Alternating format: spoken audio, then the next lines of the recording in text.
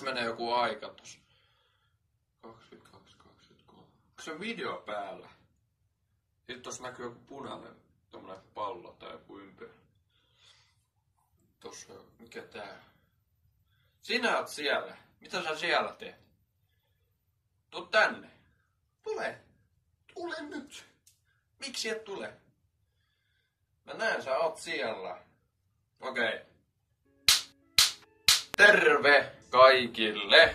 Ja pitkästä aikaa videota, en muista milloin viimeksi tein videon. Sori jos en ole tehnyt videoita vähän aikaan ja nyt mä selvitän minkä takia mä en ole tehnyt videoita vähän aikaan.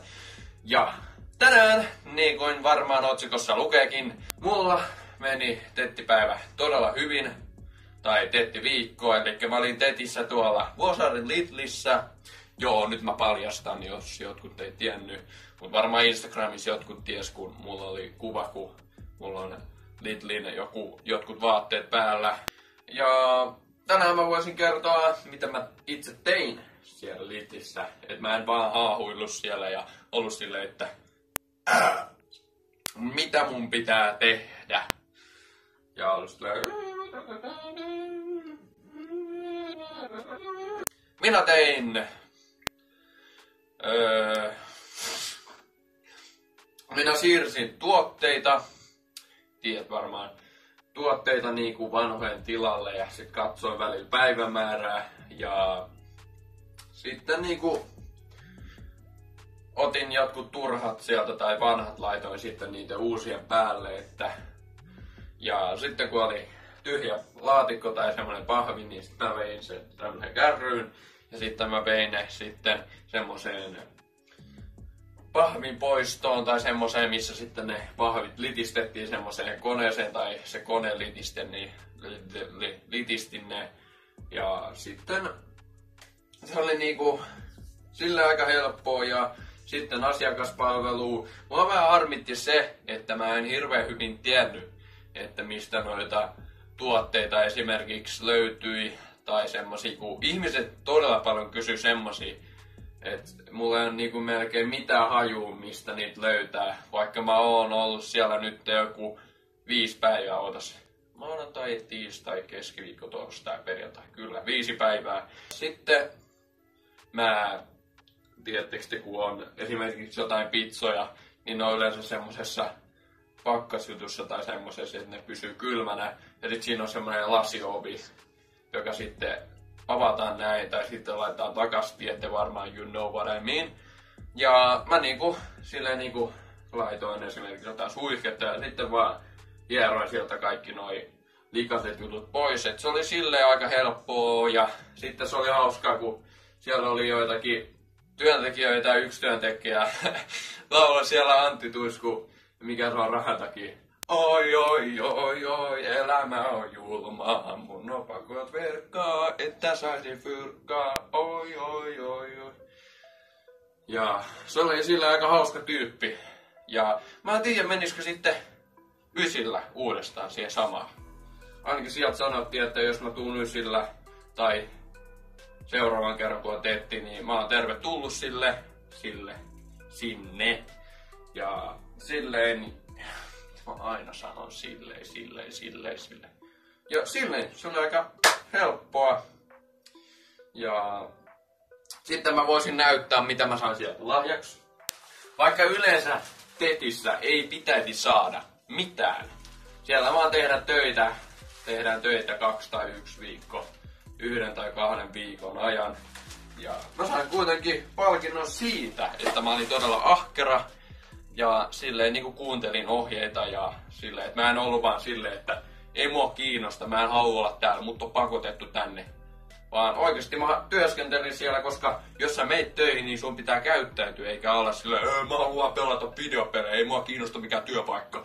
Mä, mä haluan mieluummin sitten peli, pelaamisella saada rahaa, että mä menen sitten johonkin ammattilaiseksi pelaamaan.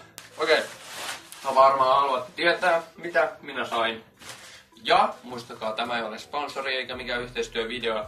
Eli mä vaan näytän nämä tuotteet. Ensimmäinen sittipussi, mikä tää on Broadway Sour Cream and Onion. tämmönen. Noin tämmösen. Vois mennä tohon, tohon.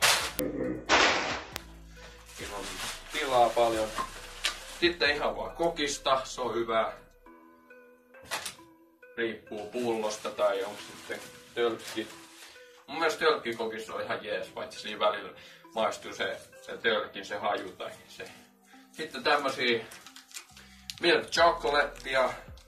No on muuten tosi hyvin, mun pitäisi varmaan laittaa jääkaappiin. Sitten milk chocolate with hazelnuts. Sanotaanko se hazelnuts? Tälleen, hazelnuts. Noin. Sitten, sitten tietysti, tää on yksi parhaimmista suklaajutuista, eli dum, Dumle tai Dumble, mitä sanotaan, Dumle Original. Eli tää on ihan se virallinen tai ihan tavallinen versio. Sitten täällä on kaksi tölkkiä. Nämä on ihan näitä Lidlin omia. Tai en tiedä onko sitten joku, mutta tässä on Freeway Lemon Lime. Eli tommonen Olette varmaan nähnyt. Sitten Freeway Cola Zero. Vähän niinku Coca-Cola. Ja tää oli myös semmonen, mitä mä sain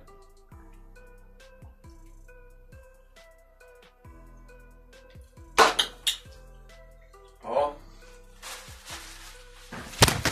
No, siinä näkyy vähän paperia. Ja mulla oli vielä jotain muitakin, mutta mä annoin kaverille tietysti jos tiedätte The Gamer 24700 tai Laavamie, Laavamies tai Laavamestari tai Taisto Kalasnikov tai Taisto Suomalainen, jos tiedätte sen, mikä se on, ää, onko se Vuosaaressa kaverin kanssa tai joku toinen. Mä en ole ihan varma, mut sille mä annoin, koska hän tykkää paljon cheeseballsista, eli mä sain cheeseballsia. Cheese balls, cheese balls, cheese balls. Okei, okay. näyttää vähän. Mutta kuitenkin, tää oli varmaan tämmönen video, mä en hirveästi halua selittää enempää, ettei joku sille, miksi tää jotain sekoilee täällä joku 10 minuuttia puhuu jotain ihan diipadaava juttuja. Eli kiitos katsot videon, muista tykätä, jos pidit ja sorry. Laita kommenttia, jos sulla on kysyttävää tai muuta kerrottavaa. Tilakanava, jos sä haluat katsoa lisää tämmöisiä videoita. Tai en mä tiedä, tuleeko ole lisää tämmöisiä videoita. Sille ainakaan hirveästi. Koska yleensä mä en voita mitään tai saa mitään semmoista ylimääräistä, mitä mä en välttämättä sais ihan normaalisti. Ja painakaa kellonappia, jos te oikeasti haluatte tietää, milloin mulla tulee uusi video. Eli paina kellonappi, sit kun siinä lukee, että saat kaikki ilmoitukset täältä kanavalta tai silleen, niin sitten se on varmasti päällä. Ja tänne tulee niin kuin pelivideoita. Niitä tulee aika harvoin, mutta kyllä niitä tulee kyllä. Esimerkiksi streameissä mä yleensä pelaan eniten. Ja sitten vlogeja tulee aina, kun mä kuvaan vaikka kavereiden kanssa tai sitten yksin jotain, jos mulla on jotain kerrottavaa teille tai jotain muuta. Ja haasteita tietysti kavereiden kanssa, koska ne on hauskoja aina. Että pystyy vähän sekoilla siinä, koska haasteet on vähän semmoisia, että siinä tehdään vaikka mitä juttuja. Ja mitäs muuta tässä? Kaikkea muuta randomia tänne tulee kanavalle. Eli kiitos kaikille, jotka katsoo tämmönen video tällä kertaa. Kiitos kaikille, jotka on tilannut. Mä arvostan sitä todella paljon. Ootte parhaita, te olette parhaita. Hei, sinäkin olet siinä paras. Ja te muut, jos katsotte siellä ympärillä. Ei tässä muuta, se on morjens. Tervetuloa kanavaan, jossa on kaikenlaisia videoita, jossa voit jopa laittaa mulle videoideoita.